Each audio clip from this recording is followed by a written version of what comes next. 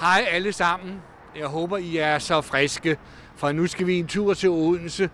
Det skal vi, fordi vi skal overdække et arrangement i forbindelse med Knus. Og derover foregår der hele tre ting.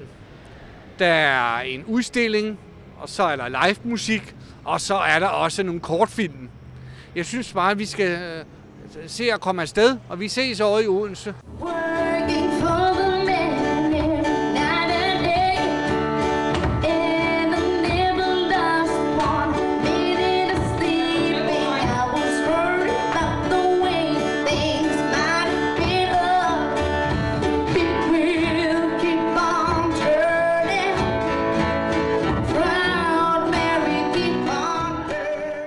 Kirsten, jeg vil gerne øh, spørge dig om, hvad laver du egentlig her på den her filmfestival? Ved et rent tilfælde øh, fik jeg en mail for tre år siden, som egentlig ikke var til mig, men det var lederen af Filmfestivalen i Odense, som havde sendt en mail forkert.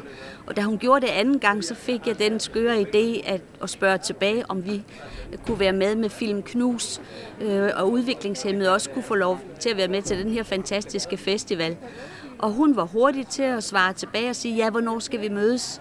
Og så kom aftalen i stand, at øh, Film Knus også kunne blive repræsenteret ved den her fantastiske festival.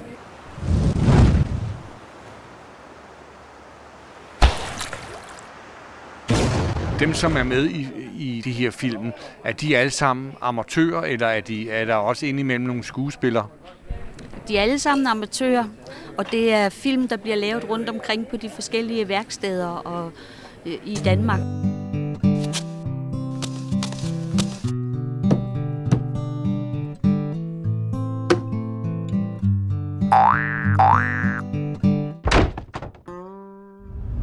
Du kan selv være et svin.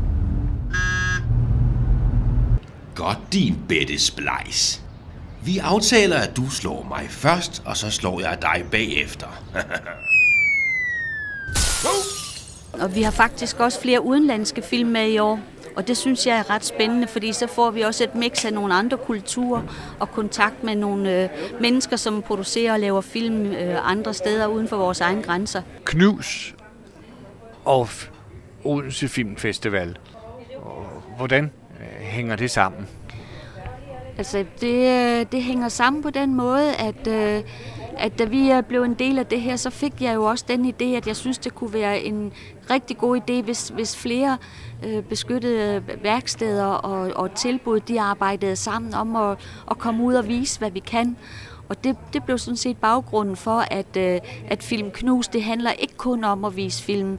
Det handler også om, at man efterfølgende kan gå over her i caféen øh, på Kulturmaskinen og kan få en oplevelse med nogle udstillede ting.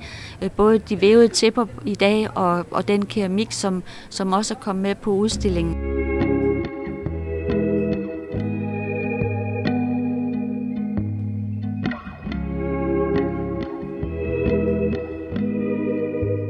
Det er tredje gang, vi er med, og vi laver hver gang nogle nye erfaringer, som vi vil, vil evaluere på, og, øh, og gøre det endnu bedre og gøre det endnu mere attraktivt også at besøge Film Knus under den her festival.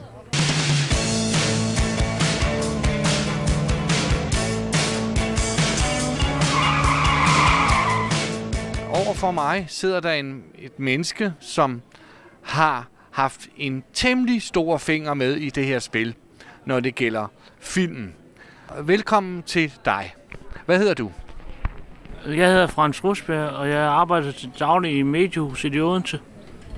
Og det er tredje gang, vi er med på Filmfestivalen, hvor vi har haft en masse forskellige film med inden for animation og eventyr, øh, plus nogle af vores egne film. Så det er rigtig spændende. Du fortalte mig før, at du øh, havde nogle film med. Hvad er det for nogle slags film? Det er kortfilm.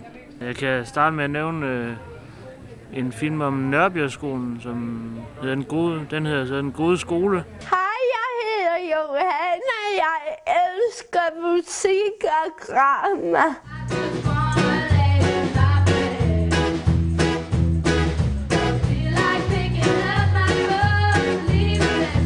Den har vi så ovenikøbet fået en pris for. Så, og så har vi en film af vores på Odense-værkstederne, som er en film om vores arbejdsplads. Hvor meget har du øh, været med en over som skuespiller? Mm, jo, den ene af dem er den, og andre er kameramand på, har jeg været kameramand på, kan man sige. Så. Vi siger mange tak til dig. Så vil jeg godt have lov til at takke for i dag. Og jeg har fået øh, nogen til at sige farvel, for det har jeg folk til. Og værsgo og, og fyre af.